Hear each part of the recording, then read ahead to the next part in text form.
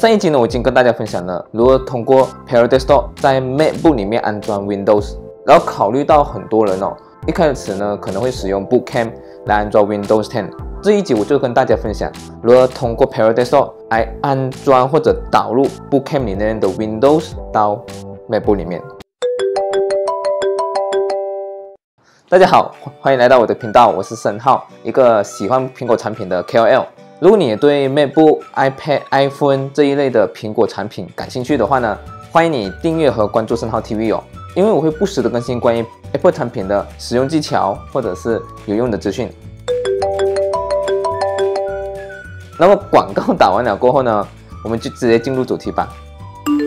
同样的，在还没有开始之前哦，我会建议大家先被告你在 Bookcam 里面的文件哦，因为任何的科技呢都会有意想不到的 bugs。如果你是第一次的话呢，你可以选择 Get Windows 10 from Microsoft，或者是用 Use Windows from Bookcam。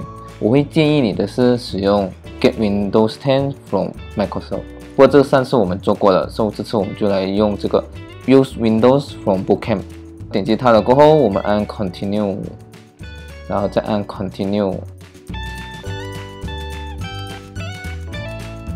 然后按 Continue，然后这个呢就是你要显示出的名字哦，然后按 Create，然后再按 Continue，所以这里呢，Paradiso 就会帮你把 Bookcam 转移到这个 Paradiso 里面。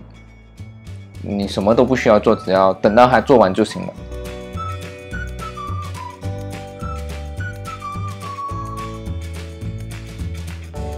OK，所以它现在是设定好了，我们就来 login 看看哦。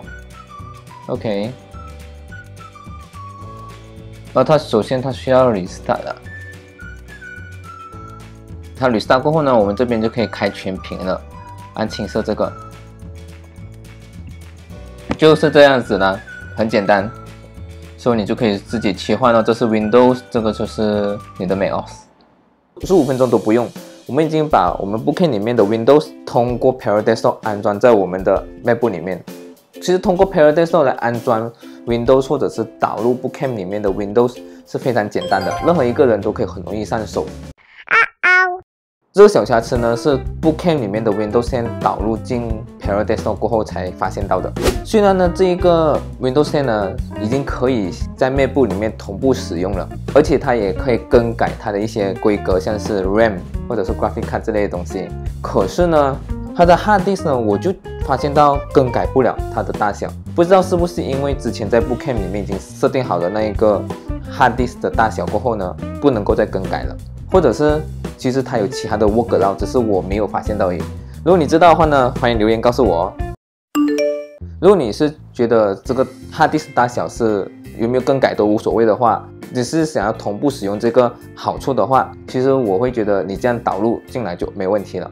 可是如果你是想要同步使用过后，你还想要更改这个 hard disk 那个容量的话，那么我其实非常建议你哦，直接就通过 Paradise 来安装 Windows，而不是通过 Paradise。导入 Bookcam 里面的 Windows 虽然是很麻烦的，可是我觉得你这样子就可以使用到它一百八千的那个功能了，会更加好。好了，以上就是我跟你分享的这个 Paradiso 的使用技巧哦。如果你觉得这个分享对你有所帮助的话呢，欢迎你给个赞，也分享给你的朋友，那么就可以减少你朋友去碰钉子啊，或者是研究过后要浪费的那些时间哦。当然不要忘记订阅我的频道哦。如果你有什么问题呀，或者是你有什么更好的使用小技巧的话，欢迎你留言告诉我。那么我是陈浩，我们下个影片再见，拜拜。